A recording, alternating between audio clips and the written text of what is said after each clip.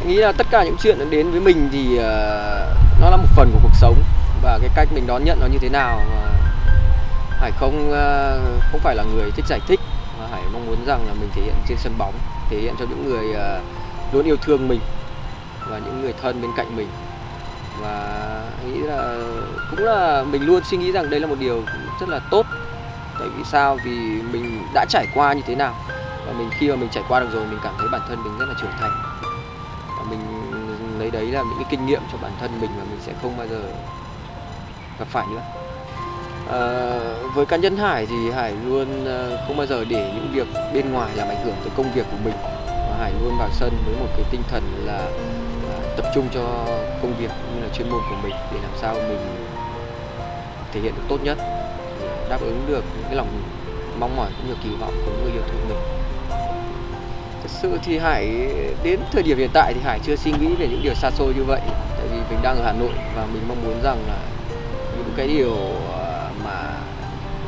ước mơ thì mình luôn có, nhưng mà mình muốn tập trung cho hiện tại của mình, đó là câu lạc bộ Hà Nội. Những cái thành tích, vì những cái tính của câu lạc bộ Hà Nội trước mắt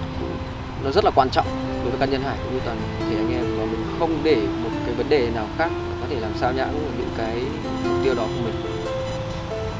Anh nghĩ rằng mục tiêu ở mùa giải 2021 là mình sẽ cố gắng là vô địch V-League và cái điều mà Hải cũng như là tất cả các anh em à, luôn luôn suy nghĩ và đau đáu là sẽ một lần được uh, nâng cao chiếc cúp vô địch AFC Cup. Thật sự thì trong bóng đá đều có thắng có thua và khi mà mình à, thất bại thì mình phải tìm ra những cái điểm mà, mà mình chưa làm tốt. Và cá nhân Hải cũng như tất cả anh em đã có những cái buổi rút kinh nghiệm sau trận đấu đó và chắc chắn rằng uh, thất bại đó sẽ làm anh em uh, sẽ khiến anh em trở lại mạnh mẽ hơn và toàn đội sẽ phải nắm chặt tay nhau để vượt qua những thời điểm khó khăn nhất. Tất nhiên là cái thể thức thì sẽ gây ờ, một chút khó khăn với Hà Nội nhưng mà Hà Nội chưa bao giờ chịu khuất phục với ờ, những khó khăn và tất cả thể thức nào cũng như là trận đấu nào thì ờ, Hải nghĩ rằng là ban huấn luyện cũng như là ban lãnh đạo đã có những phương án để mình có thể ờ, khắc phục những khó khăn đó. Điều quan trọng hơn cả là các cầu thủ phải giữ được sự tập trung cũng như là thật là đoàn kết để có thể vượt qua được những trận đấu khó khăn này. Thật sự thì mới trải qua một vòng đấu thì cũng chưa đánh giá được nhiều và hãy thấy mùa giải năm nay là một giải rất là đáng chờ đợi. Vì tất cả các đội bóng đều ờ, đầu tư rất là mạnh mẽ và có một cái lực lượng rất là tốt à, thực ra thì đến thời điểm hiện tại thì Hải à, thấy tất cả các đội đều rất là đáng để mình phải cẩn trọng. Anh nghĩ là chắc chắn là ờ, mục tiêu đầu tiên là Hà Nội phải à, ở trong top 6 để cũng mình có thể nuôi hy vọng đạt được ngôi vị cao nhất. Sau đấy thì hãy nghĩ rằng sẽ có như Hoàng Anh Gia Lai Bình Định Thành phố Hồ Chí Minh à, shb, SHB Đà Nẵng à, Viettel. Hãy nghĩ rằng là trải qua một năm 2020 và có rất nhiều những giải đấu bị hoãn và lịch thi đấu bị hoãn theo à, dịch bệnh thì anh nghĩ rằng tất cả các nghề nghiệp khác cũng bị ảnh hưởng thôi không riêng chỉ bóng đá và Hải cũng như là tất cả anh em luôn luôn phải sẵn sàng để làm sao mà mình khi mà quay trở lại những trận đấu, quay trở lại với những giải đấu thì mình luôn luôn có được một cái thể trạng tốt nhất. Hướng đến năm 2021 thì à, tất cả các nước à, dịch sẽ lùi xa và sẽ được kiểm soát rất là tốt. Giống như cách mà nhà nước và chính phủ Việt Nam đang làm. Đấy là điều Hải cảm thấy là mình ở đất nước Việt Nam mà mình cảm thấy rất là may mắn. Khi mà à, nhà nước cũng như là chính phủ đang làm rất là tốt về cái việc phòng tránh dịch bệnh à, thật sự thì à, sau một năm thi đấu ờ, cũng khá là mệt mỏi thì à, à Hải cũng rất là mong chờ được à, vào dịp Tết được ờ, đoàn tụ bên à, gia đình được à, làm những việc mà mình cảm thấy rằng à, sẽ rất là hạnh phúc và mát đối với bản thân mình với gia đình mình. Với một cầu thủ chuyên nghiệp như Hải cũng như là tất cả anh em thì à, mỗi dịp được về với gia đình, được đoàn tụ với gia đình, được ăn với bữa cơm, với bữa cơm với gia đình thì đấy là một điều mát nhất. Sự thì à, có một cái kỷ niệm mà cũng vừa à,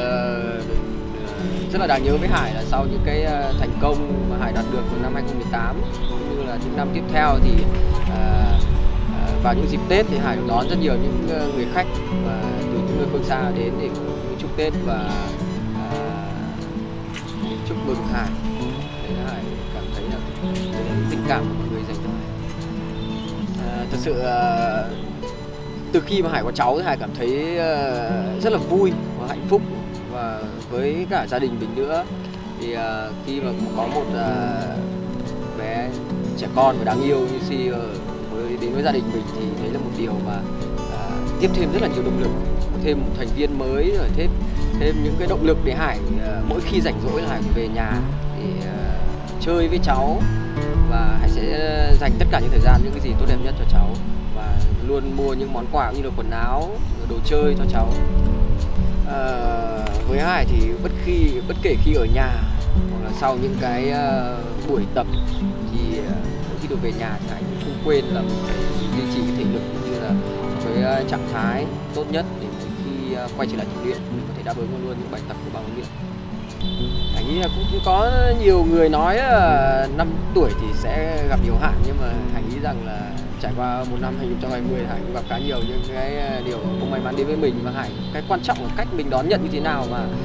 à, Hải cũng đã trải qua những cái điều như vậy rồi. Hải nghĩ rằng là cũng chẳng có điều gì nữa khiến mình có thể gục ngã được. Và tất cả những mọi điều nó đến với mình thì mình sẽ đón nhận một cách nhẹ nhàng nhất tất nhiên rồi à, mỗi một năm thi đấu và mỗi một giải thì à, mà mình tham dự Hải sẽ đặt ra những mục tiêu cho mình. Tất nhiên là không, sẽ không gây áp lực cho bản thân mình, nhưng mà Hải có những cái mục tiêu rõ ràng cho cá nhân cũng như là để đóng góp và cho tập thể của mình. Ví dụ như ở đội tuyển quốc gia thì mình sẽ cố gắng thi đấu thật tốt. Và những cái à, trận đấu mà mình tham dự ở câu lạc bộ thì năm nay thì câu lạc bộ sẽ thi đấu cả AFC Cup. Cái mục tiêu mà chắc chắn rằng à, ban lãnh đạo cũng như là ban huấn luyện đã đặt ra những cái mục tiêu rõ ràng cho toàn đội